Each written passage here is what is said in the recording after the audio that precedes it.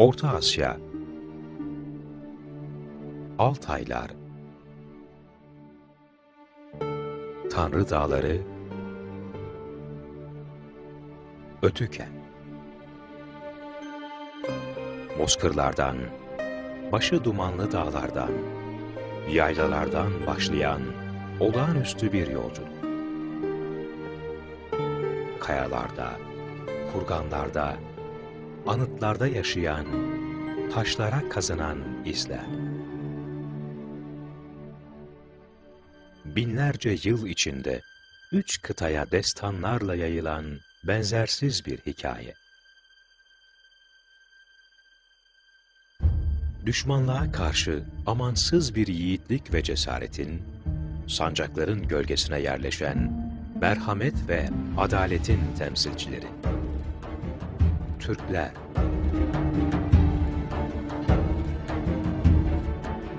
Horasan ve Mavera Ünnehir'de, Semerkant, Buhara ve Taşkent'te dünya tarihini değiştiren buluşma. Kubbelerden yansıyan seslerle Anadolu ve Avrupa'ya uzanarak kök salan seçkin birikim. Kervansaraylar, medreseler, darüşşifalar, rasathaneler, külliyeler. Bilim, düşünce ve sanatın yeni ve özgün sayfaları. İnsanlığın ortak mirasına damgasını vuran büyük bir medeniyet.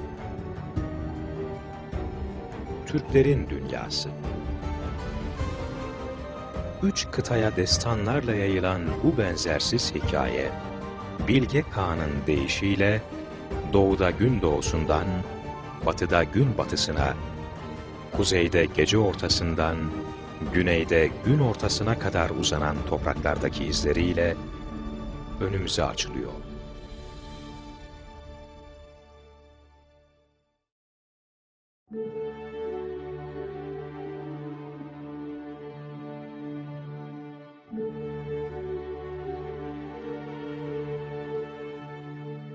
Türkiye Selçuklu Devleti şehirlerinin merkezinde toplumun sağlık, temizlik, din, eğitim gibi ihtiyaçlarını gidermek üzere inşa edilen yapılar genellikle bir arada bulunurdu. Darüşşifalar bu külliyelerin en önemli bölümlerinden biriydi. Külliyeler içinde yer aldığı gibi bağımsız olarak da inşa edildiler. Sultan Keykavus'un yaptırdığı hastane, diğerlerinden farklı bir yapıya ve özelliğe sahipti. Bütün görkemiyle günümüze ulaşan bu hastane, yanında kurulmuş olan tıp medresesinin uygulama bölümüydü. Hastanede dahiliye, göz, cilt ve ruh hastalıkları tedavi edilip ameliyatlar yapılırdı. Hastaların başında uygulamalı dersler verilirdi. Türk tıp tarihinin belki de doruk noktalarından bir tanesi Anadolu Selçukluları dönemidir. Bütün Anadolu Türk beyleri tıbbı, hekimleri teşvik etmişlerdir ve hastaneler yaptırmışlardır. Ee, en eski bilebildiğimiz hastane Sivas'ta 1205 yılında yaptırılıyor. Ee, ve elimizde de tek vakfiyesi olan hastanedir. Biz buradan öğreniyoruz ki becerikli, ahlaklı tabiplerin tayin edilmesi vakfiyesinde öngörülmüştür. Ayrıca yine usta cerrahlardan söz ediliyor ve kehal adı verilen göz hekimi tayin ediliyor. Şimdi Selçuklu Darüşşifalarının e, çok e, güzel özellikleri var. Bunlardan bir tanesi e, belki de bugün de örnek alınması gereken o muhteşem abidevi girişleridir. Selçuk kapıları inanılmaz güzelliktedir ve bazı tıp tarihçilerinin ileri sürdüğüne göre bir takım tıbbi bitkiler buralarda tasvir edilmektedir. Ama bir hastanın hastaneye giderken karşılaşacağı manzaranın çok önemli olması, onun maneviyatı açısından çok önemli bir telkin vasıtası olmaktadır. Ee, Selçuk e, Darüşşifalarından belki de en muhteşemi sanat açısından Divri'de yapılmıştır. Divri Darüşşifası bugün e, UNESCO tarafından Türkiye'de korunması gereken başlıca eser olaraktan e, tespit edilmiştir. E, hakikaten turizm alanına girmesi gerekmektedir. E, fakat çifte medrese olarak da en çok dikkatimizi çeken Kayseri Darüşşifası'dır. Kayseri Darüşşifası iki medrese planı şeklindedir. Dolayısıyla tıp tarihçileri bu iki medreseden birinin tıp medresesi olabileceğini ileri sürmüştür. Fakat ne yazık ki vakfiye elimizde yoktur. Ama ister bir tıp medresesi olsun, ister kadın erkek şeklinde ayrılan iki ayrı medrese olsun, e, biz biliyoruz ki medreselerde e, hasta başında usta çırak usulü tıp eğitimi yapılmaktadır. Anadolu Selçukluları döneminde Anadolu'nun birçok yerinde darüşşifalar kuruldu. Ee, Sivas ve Kayseri'den sonra e, Divri, Amasya, Tokat, Kastamonu, Akşehir, Konya, Çankırı buralarda darüşşifalar kuruldu. Tabii ayakta kalmalarının en önemli sebebi bunların vakıf eserleri olmalarıdır. Ee, bu vakıf hastaneleri her türlü hizmet parasız, ücretsiz olduğu için bir takım gelir kaynakları vakfedilirdi. E, dükkanlar, çiftlikler, e, bir takım kiralık yerler, e, hatta e, bazı e, meralar, e, hayvanlar, yani gelir getirebilecek olan her türlü e, kaynak vakfedilirdi. Fakat zamanla tabii e, ne yazık ki bu vakıf eserlerin üzerine e, bazı kimselerin e, inşaat yapmaları ya da e, işte kendilerine geçirmeleri sebebiyle e, onarılmaları güçleştiği için bir kısmı bunların bugüne kadar gelemedi.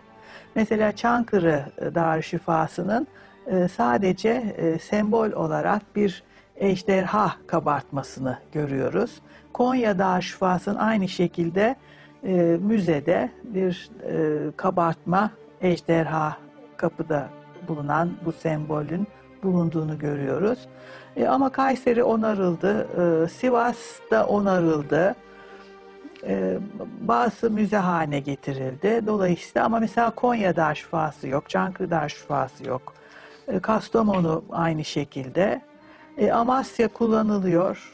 Selçuklu dönemi tıp kitaplarını incelediğimizde e, efendim hareket etmek, e, neler yiyeceğiz, neler iç, yemeyeceğiz, neler içeceğiz, e, uyku durumumuz, e, temizlik durumumuz, bütün bunlar sağlıklı yaşam için gere- gereken önlemler tıp kitaplarının en başında yer almaktadır. Selçuklu eserlerine baktığımız zaman tabii ki bu dönemde en önem verilen e, kitap İbn Sina'nın Kanunu'dur. E, çok sistematize bir kitaptır.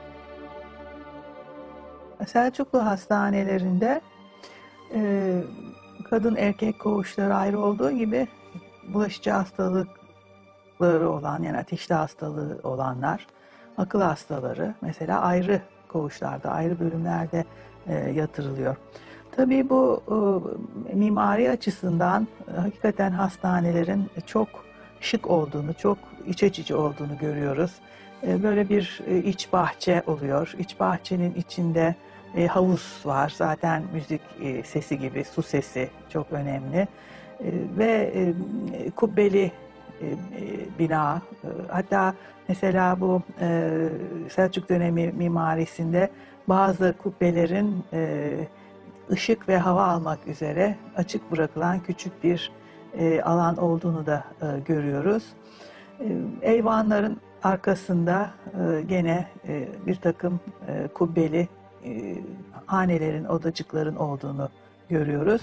E, tabii bu hastanelerde e, her zaman için e, usta çırak usulü eğitim yürütülmekteydi.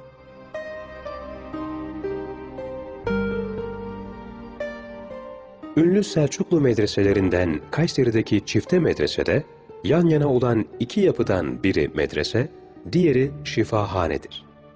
Şifahanenin girişindeki kitabede ikinci Kılıç Arslan'ın kızı ve Gıyasettin Keyhüsrev'in kız kardeşi Gevher Nesibe Hatun'un vasiyeti üzerine inşa edildiği kayıtlıdır. Anadolu Selçuklu döneminde kısa zamanda ve arka arkaya birçok şehirde hastaneler kuruldu. Daruş şifalar, tedavi için ayrılan hasta odaları, doktor ve hasta bakıcı odaları ve eczaneden oluşuyordu. Hamamlar genellikle hastanelerin yanında bulunurdu. Temizliğin sağlık için önemi biliniyordu. Kaplıcalar, şifa bulmak için başvurulan kuruluşlardan bir diğeriydi. Bazıları günümüze ulaşmıştır ve halen kullanılmaktadır. Dönemin hekimleri öncelikle bitkisel ilaçlarla tedavi ederdi. Hayvansal ilaç terkipleri ve mineraller de kullandılar. Hekimler sadece hastanelerde değil, tüm gerekli yerlerde bulunurdu. Orduda develerle taşınabilen seyyar hastanelerde ve kervansaraylarda hastaları tedavi ederlerdi. Saraylılar ve halk içinde ayrıca hastaneler yapılmıştı. dikkat edilmesi gereken temel noktalardan birisi Büyük Selçuklu Devleti'nin devamı olan Anadolu Selçuklu Devleti'nin de e, Anadolu'ya getirdiği e, inanç, bu inanç sisteminin oluşturduğu medeniyet, bu medeniyetin yarattığı kültür unsurlarını bir bütün olarak değerlendirmek ve ona göre almak gerekiyor. Mimariyi de, nin de üzerinde durmak istiyorum özellikle. Mimariyi de bir süreç olarak görmek gerekiyor. İnancı bir süreç olarak gördüğümüz gibi, inancı nasıl bir süreç olarak görüyoruz? Mezar-ı Şerif, Aslan Baba, Hoca Ahmet Yesevi, Hoca Ahmet Yesevi'nin öğrencileri Horasan erenleri, Horasan erenlerinin Anadolu'ya geldikten sonra oluşturdukları mekanizma Abdalan-ı Rum, Bacıyan-ı Rum, Ahiyan-ı Rum, Gaziyan-ı Rum örgütlenmesi, bunun Osmanlı Devleti döneminde devamı olarak Macaristan'a kadar giden Gülbaba, İdris Baba, Tunus'a kadar giden mekanizma ve Kahire'ye giden Kaygus Abdal dergahı ve Babül Mukaddam'a kadar giden öğretinin oluşturduğu ışıklı ve altın bir yol. Bu yol içerisinde bir medeniyet olarak değerlendirmek gerekiyor. Şimdi mimariye gelirsek, mimaride de bu konuda yavaş yavaş birçok kitaplar da yazılıyor. Semerkant'tan çıktığımız zaman mimarinin gelişerek, olgunlaşarak Konya'ya kadar geldiğini görüyoruz. İzni'ye kadar geldiğini görüyoruz. Ve e, şeyden itibaren kervansarayların girişleri, camilerin girişleri, kümbetler, kümbet yapıları ve kümbet içerisindeki mimari organizasyonlara e, baktığımız zaman e, Semerkant'tan bu tarafa doğru olgunlaşarak gelen, gittikçe gelişen bir e, medeniyetin de adım adım izlerini görüyoruz. Bu izler nerede şey diyor? Konya'da Anadolu Selçuklu Devleti döneminde Selçuklu mimarisi e, en olgun çağını yaşıyor. Osmanlı Devleti Bursa'yı aldıktan sonra Bursa'da Selçuklu medeniyetinin mimarisi biraz daha gelişerek kubbeli, iç tarafı daha geniş ve daha aydınlık büyük bir cami mimarisine geçiyor ki Bursa Ulu Camii adeta e, Selçuklu mimarisinin devamı ve olgunlaşmış bir süreci oluyor ve Osmanlı mimarisini beraberinde oluşturuyor. Türkiye Selçuklu Devleti, bilimiyle, kültür ve sanatıyla kısa sürede kök salmıştı. Ancak bu olgunlaşma Moğol istilasıyla sarsıldı. Merkezi yönetim zayıfladı. Siyasi birliğin dağılmasıyla sonuçlanan bu süreç, Selçuklu Devleti'ni çöküşe sürükledi. Türkiye Selçuklu Devleti Moğol hakimiyetine girip yavaş yavaş çöküntüye e, ve tarih sahnesine çekilmeye giderken Anadolu'nun muhtelif kesimlerinde özellikle yoğun Türk göçünün e, gerçekleşmiş olduğu uç, e, uç kısımlarda Batı Anadolu'da, Batı Karadeniz'de, e, İçel bölgesinde, e, daha sonra da Orta Anadolu bölgesinde Türkmen e, beylikleri, Türk devletleri ortaya çıkacaklar, e, çıkacaktır. Beylikler kavramı Anadolu'da iki ayrı dönem için kullanılır. Birinci Anadolu beylikleri, Türkiye Selçuklu Devleti'nin kuruluşuyla yaklaşık aynı döneme denk gelir. Bu beylikler, Büyük Selçuklu İmparatorluğu'na tabiydiler. Zamanla Anadolu Selçuklularına bağlandılar. İkinci Anadolu Türk beylikleri, Anadolu Selçuklu Devleti'nin çöküşüyle ortaya çıktı. Anadolu'nun e, Türkleşme vetiresine, sürecine baktığımızda e, bunun işte 1071'den sonra olduğu ve Selçuklu hakimiyetiyle beraber bilhassa Ön Asya'daki ve Orta Asya'daki Türk gruplarının kademe kademe Anadolu'ya aktığını biliyoruz. E, ancak e, bu göçlerin e, tedrici bir şekilde olduğu da çok açıktır. E, asıl e, Anadolu'daki Türkleşme vetiresinden söz etmek lazım gelirse bunu e, Moğolların e, Anadolu'ya e, yönelik olan e, Selçuklu hakimiyetini sarsıcı bir şekilde harekatları sırasında olduğunu ifade edebiliriz. Çünkü Moğolların önünden e, kaçan e, önemli sayıda Türkmen e, grubu e, bu ikinci e, göç dalgasıyla Anadolu'nun e, batı yakalarına kadar uzandı. Dönemin bazı e, Arap seyyahları da çok açık bir şekilde buraya gelen e, nüfusun ne kadar yoğun olduğunu e, göstermektedir. 1243 Kösedağ yenilgisiyle Anadolu Selçuklu Devleti bir daha kurtulmamak üzere Moğol hakimiyetine girdi. Anadolu'da Moğollara direnen Türkmenler, İslam gaza ideolojisini benimseyerek Mısır Memluklarıyla işbirliği yaptılar. Bağımsızlık hareketinde siyasi önderliği ele aldılar. 1260'lardan sonra Anadolu iki siyasi bölgeye ayrıldı. Biri İlhanlı Moğol Devleti'ne bağlı Selçuklu sultanlarının egemen olduğu doğu kısmı, öteki uç Türkmenlerinin egemen olduğu batı kısmıydı. Ee, özellikle Batı Anadolu bölgesi böyle bakıldığında neredeyse Kastamonu'dan itibaren başlayan ve Antalya'ya kadar uzanan bu geniş çizgi içerisinde e, çok yoğun bir şekilde Türkmenlerin yerleştiği bir alanı oluşturdu. O yüzden e, bu alana bakıldığında tamamıyla bu alan e, Selçuklu Bizans sınırını oluşturuyordu.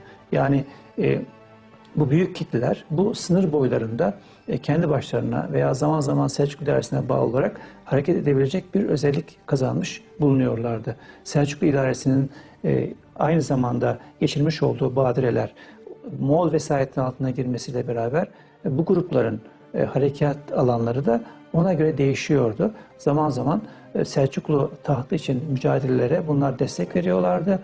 Aynı zamanda ve bu destek verdikleri zamanlarda da yine siyasi güçleri ve askeri güçleri artıyordu.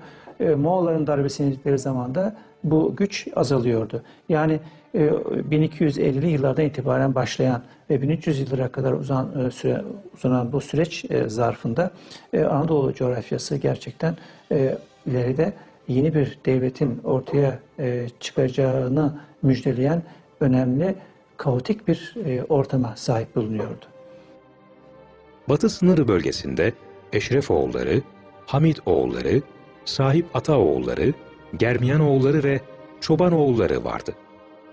Selçuklu sınırları ötesinde ise Bizans topraklarının fethiyle Menteşe, Aydın, Saruhan, Karasya ve Osmanlı beylikleri kuruldu. Moğol baskısı Anadolu'da yeni dengelerin oluşmasına yol açmış ve böylece siyasi güç Orta Anadolu'dan batı uçlarına kaymıştı. Anadolu'nun o andaki durumu hepinizce malum olduğu gibi e, batıdan e, Hristiyan ordularını yani e, Haçlı kuvvetlerini doğudan da e, Moğol ordularını Yunus Emre'nin ifadesiyle Tatarların e, istilasına uğramış bir belde, bir bölge Anadolu. E, fakat e, tabii bu e, kan ve duman arasında e, Anadolu'da da bir ihya hareketi var. Kan ve duman e, arasında yaşayan bir e, şahıstan bahsediyoruz şu anda. Sadece o değil tabii ki. E, gerek Hacı Bektaşi Veli, gerek Hazreti Mevlana, Ahiye Evran, e, bildiğimiz bilmediğimiz o dönemde yaşayan pek çok e, hak dostu böyle bir ortamın insanı.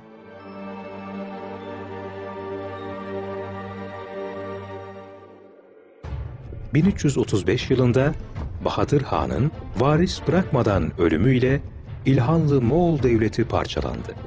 Böylece Anadolu ve Türk beylikleri için önemli bir dış tehlike kalmadı.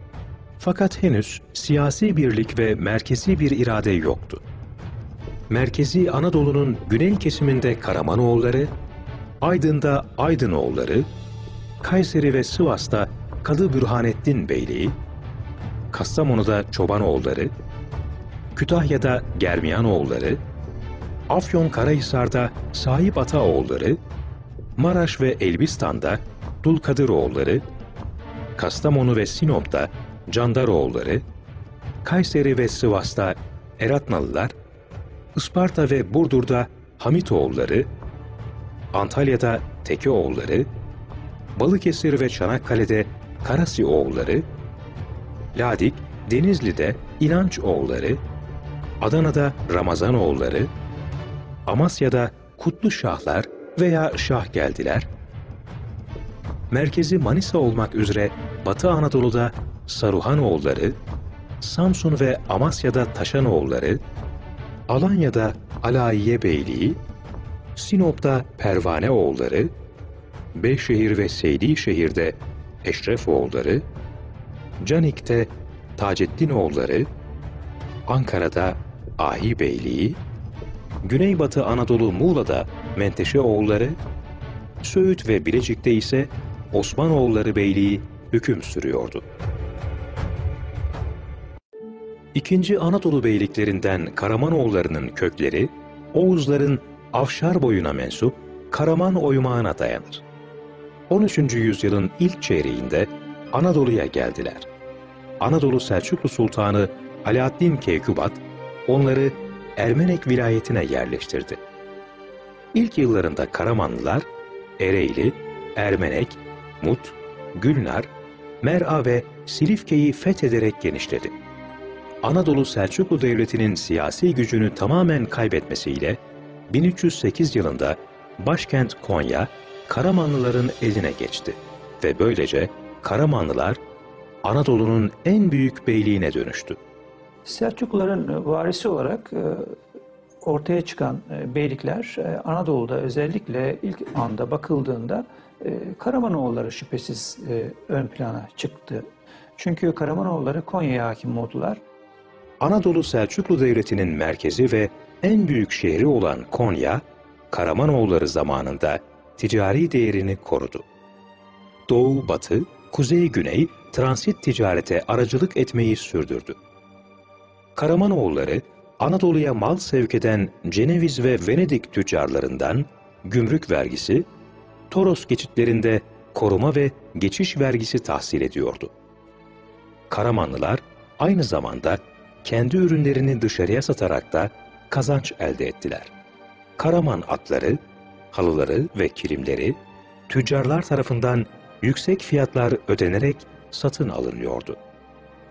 Karaman beyleri, Larende, Ermenek, Konya, Niğde, Aksaray, Ürgüp, Konya Ereğlisi ve Mut gibi şehir ve kasabalarda cami, medrese, imarathane ve türbe gibi birçok eser inşa ettiler. Karamanoğulları döneminde mimarlık, gelişme gösteren sanat dallarından biriydi. Karaman'daki Hatuniye Medresesi ile Niğde'deki Ak Medrese bu dönemin en önemli yapıları sayılmaktadır. Karaman oğlu Mehmet Bey'in Türkçe'ye olan hizmeti üzerinde durmamız gerekir. Bundan sonra defterler de Türkçe yazılacak dediği andan itibaren Türkçe'ye geçiş tam başlamıştır. Zaten bu ferman da 13 Mayıs 1276 yılında okunmuştur. Karaman Bey'in oğlu Mehmet Bey'in okuduğu bu fermanın bir başka tesiri daha olmuştur. Bundan sonra yazılacak eserler artık Türkçe yazılacaktır. Mesela Gülşehri gibi bir şair bundan sonra Farsçayı bırakmış, Türkçe'ye yönelmiş ve Mantık Tay gibi bir eserini eseri ortaya koymuştur. Aşık Paşa yine bu devirde 1330 yılında Garipname adlı büyük eserini Türkçe olarak yazmıştır. Hele hele Türk Edebiyatı'nın en başında yer alan Yunus Emre, Türkçeyi en güzel şekilde dile getirmiş, kelimelere yeni manalar yükleyerek tasavvufi yönden Türkçeyi gönül dili haline getirmiştir. İşitin ey yarenler, aşk bir güneşe benzer. Aşkı olmayan gönül misali taşa benzer. Taş gibidir diyor. Taş gönülde ne biter? Dilinde avu tüter. Nice yumuşak söylese sözü savaşa benzer. Taş gönüller kararmış, sarp katı kışa benzer diyor. Zemheriye benzetiyor. Böyle pek çok şiiri var. gel gör beni aşk neyledi bir günde söylenmiş bir şey değil. Uzun bir tecrübe, bir hayat, bir terbiye neticesinde söylenmiş bir şey. Yani özetliyor ama içini doldurmak bize kalmış. O aşk neler yaptı neler yaptı. Beni aldı, hamur nefsi emaremi aldı, hamur gibi yoğurdu, değiştirdi, değiştirdi, değiştirdi. Cenab-ı Hakk'a layık bir nur beden haline getirdi demek istiyor. Dolayısıyla Yunus Emre e, gezdiği yerlerde gönüller ihya etmiştir. Bu sadece keramet olayı değil, gönüller ihya etmiştir. Ve Evliyaullah'ın sözü, saliklerin sözü kurşun gibi işler insanın gönlüne. Çünkü attığın zaman sen atmadın, senin elinden atan biziz diyenin kontrol altına girmiştir artık o. O, o kelam ilahi bir kelamdır demin arz ettiğimiz gibi. İşte o kelam e, hak kelamı olunca, haktan olunca, nefsi olmayınca işler. Bu gezdiği yerlerde de miraslar bırakmış. Gönüller ihya etmiş Yunus, benimsemiş halk. Bu Anadolu'da makam olarak, mezar olarak iddia edilen yerlerin çoğunda muhtemelen e, seyahati var Yunus. Muhtemelen değil, kesinlikle. Ama bunlardan bir tanesi gerçek mezar. Şimdi ma- makam bu gerçek e, mezar olmayan yerler makam diye izah edilir. Makama da saygı söz konusudur İslam kültüründe. Çünkü oraya hakkın nuruyla e, nazar eden bir kişinin nuru sirayet etmiştir. 1308 yılında Aydın ve çevresinde kurulan Aydınoğulları Beyliği'nin başında Aydınoğlu Mehmet Bey vardı. İzmir, Sultanhisar ve Ödemiş'i ele geçirerek hakimiyet alanını genişletti. Çobanoğulları Beyliği'nin kökeni Oğuzların kayı boyuna dayanır. Kastamonu ve çevresinde hayat bulan Çobanoğulları Beyliği'nin başında Hüsamettin Çoban vardı. Türkiye Selçuklu Devleti'nin üst düzey devlet adamlarından biriydi. 1. İzzettin Keykavus döneminde Bizans'a karşı düzenlenen seferlere katılmıştı.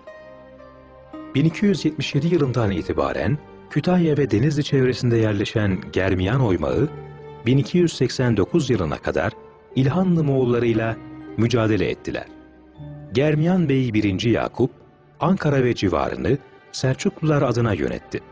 Konya tahtına Gıyasettin Mesud'un çıkmasıyla ona tabi olmayıp Kütahya taraflarına çekildi ve burada kendi beyliğini kurdu. Menderes Nehri civarındaki Tripolis ve Angir'i zapt etti. 1314 yılında Alaşehir üzerinde de etkisini hissettiren 1. Yakup döneminde Germiyanoğulları Beyliği bölgenin en etkili gücüne dönüştü.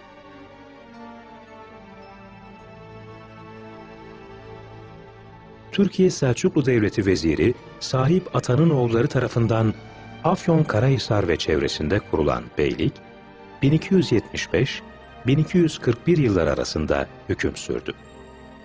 4. Kılıç Arslan 1249 yılında Selçuklu tahtına geçince veziri Sahip Atan'ın iki oğlu Taceddin Hüseyin ve Nusretüddin Hasan'a Kütahya, Sandıklı, Beyşehir ve Akşehir bölgelerini bırakmıştı.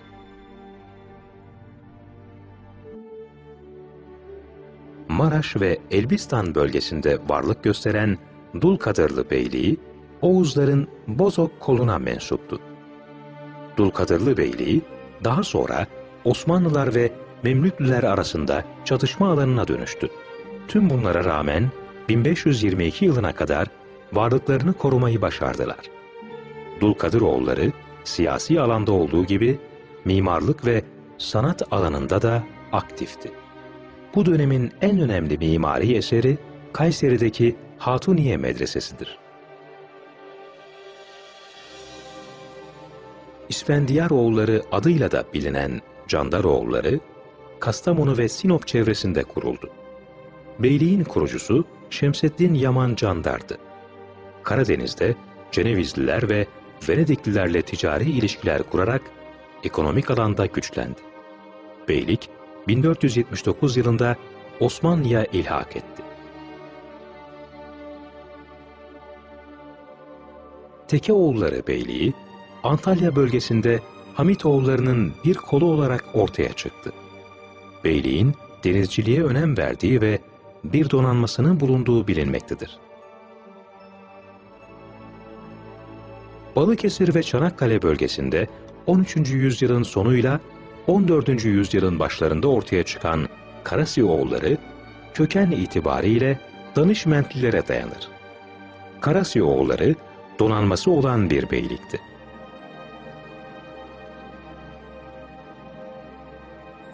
Osmanoğulları ailesi Oğuzların kayı boyuna mensuptu. Türkiye Selçuklu Sultanı 3. Alaaddin Keykubat, Ertuğrul Gazi ve topluluğuna Söğüt bölgesini vermişti. Ertuğrul Gazi, Karacahisar bölgesini Rumlardan aldı ve bunun üzerine 3. Alaaddin Keykubat, Eskişehir'i Ertuğrul Gazi'ye verdi. Ertuğrul Gazi'nin ölümünden sonra 1281 yılında oğlu Osman Gazi ailenin başına geçti. Anadolu'da etkin bir meslek kuruluşu olan Ahilerin başındaki Şeyh Edebali'nin kızıyla evlendi. Bizanslıların elindeki Kulacahisar ve Bilecik'i fethetti. 1299 yılında bağımsızlığını ilan eden Osman Gazi, kendi adıyla anılacak Osmanoğulları Beyliğini kurdu. Diğer beylikler arasında Osmanlı Beyliği nasıl oldu da e, Osman Bey ve Orhan Bey döneminden itibaren e, güçlü bir hale geldi?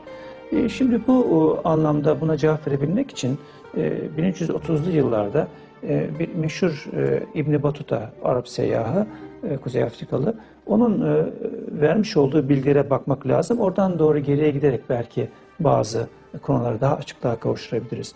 E, o yıllarda İbn Batuta diğer beylikler arasında Osmanlıların yani 1330'lu yıllarda Osmanlıların Orhan Bey vardı o sırada Osmanlı Beyliği'nin başında e, çok güçlü olduklarını ve sürekli askeri e, e, faaliyette bulunduklarını ve e, gaza yaptıklarını ifade ediyordu ve zenginliklerinden söz ediyordu. Dolayısıyla onun verdiği bilgiden hareket ederek e, Osmanlıların bulunduğu bölgede gerçekten çok önemli farklı bir yapının oluştuğunu biz anlıyoruz.